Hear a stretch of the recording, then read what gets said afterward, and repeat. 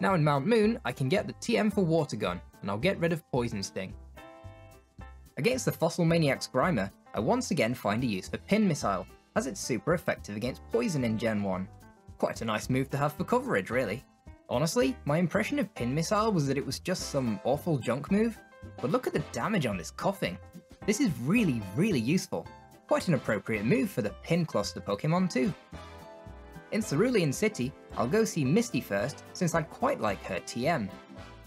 And since I don't have any moves for water types, I default to Barb Barrage, which easily takes down Staryu in 2.